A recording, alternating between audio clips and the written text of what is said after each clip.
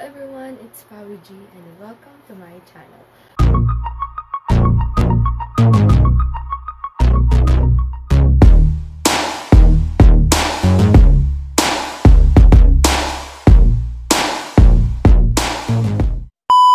So, for today's vlog, ay magkakaroon tayo ng ukay haul. Yes, so, isi-share ko sa inyo kung ano yung mga naukay ko this quarantine.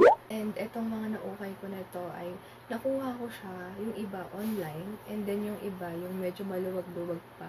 Hindi pa masyadong strict sa labas. Before we start, share lang ako sa inyo dahil magkakaroon tayo ng Gcash giveaway. Simple lang ang mechanics. So, ang gagawin nyo lang ay mag-comment lang kayo dito sa aking vlog.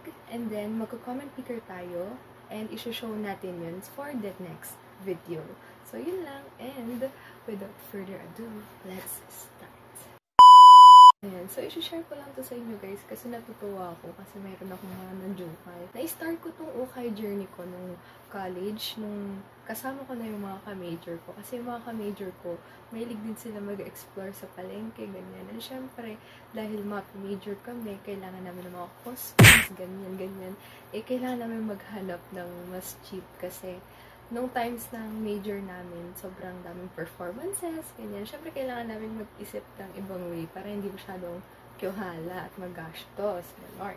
So, unang item, isi-share ko na sa inyo ay this one. So. So, ito, yan siya. So, par, um, isa siyang romper, tube romper.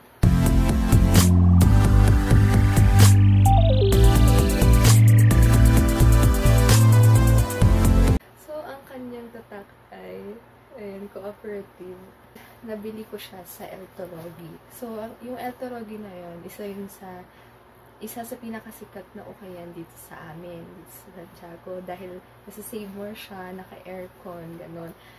Nakuha ko siya ng 250 pesos. Pricey siya, pero kasi, ang ganda niya kasi, ang kapal ng tela niya. Ayan. Ayan, pwede siya pang events, ganyan, pang judge Ayan. Tapos, meron siyang ganito. Para mag-stick siya sa'yo. Ayan. So, next one. Okay, so next one ay romper ulit tayo. Yes, nahilig kong mag-romper kasi, ewan ko, na-appreciate ko lang. And black. Ayan, medyo nahiligan kong mag-black. Kasi parang nakaka-skim siya. Kasi medyo chumabi ako ngayong quarantine. one, and romper din siya. Eto, nabili ko to sa online. Ayan.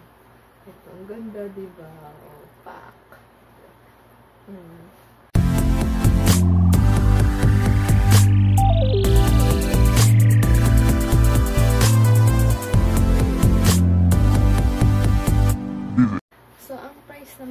Is parang kwanto eh.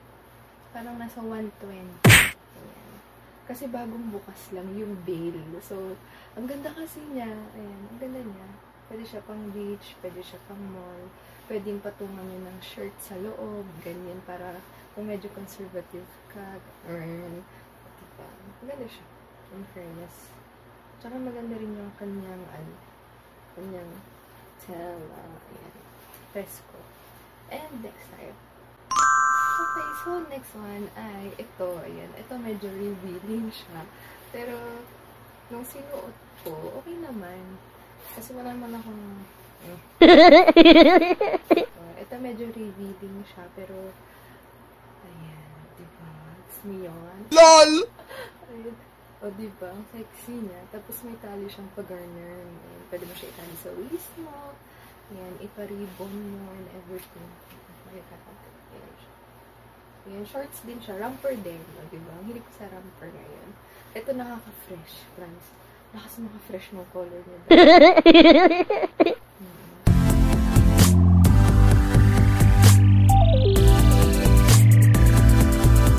so, ito, uh, ka-price din nun. So, parang 1, 100. Basta 100 to 120 lang siya.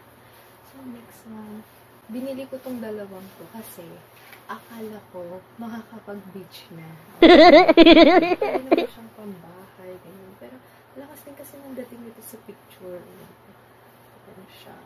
Backless. Ang peg ng lola niya. Parang 50 pesos. Oo, parang 50 pesos to. 50-50 o dito.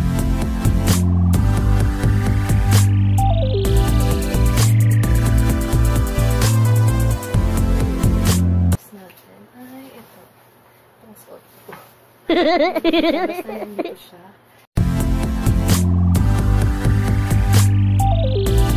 eto, nasuot ko na to sa labas. No, pumasok ako ng school.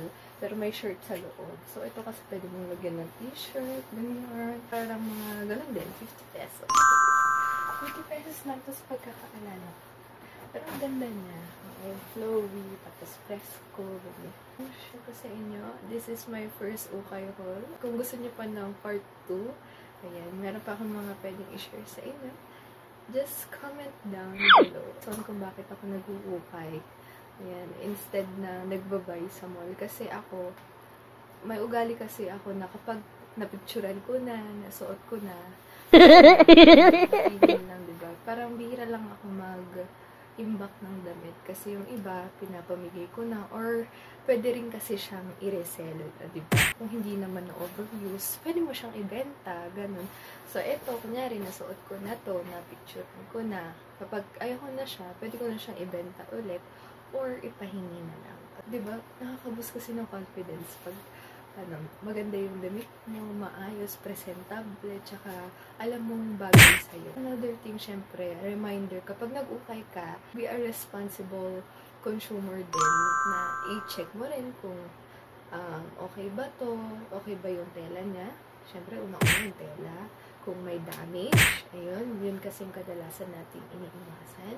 Syempre, dapat linisan mo na mabuti. Kung kunwari, nabili mo na siya, dapat alam mo rin kung paano siya i-sanitize, paano siya malabhan, kung ibababad mo muna, ganyan. So, may mga ganyang effects, syempre. Ayan, isa din sa mga gusto kong factor, kaya gusto ko nag-uukay, kasi wala akong kaparehas. Kumbaga, sila, nakikita ko na sa mall, ganyan. And ikaw, kakaiba ka, unique ka, and everything. And, ayun, nasa pagdadala naman talaga. Yun din yung isa sa mga napansin ko. Kahit gaano kamahal yung suot mo, kung hindi mo alam dalhin, legwak yan. so, ayun lang. And uh, if you want more videos like this, just comment down below. Ayun lang. Thanks for watching. See you on my next vlog.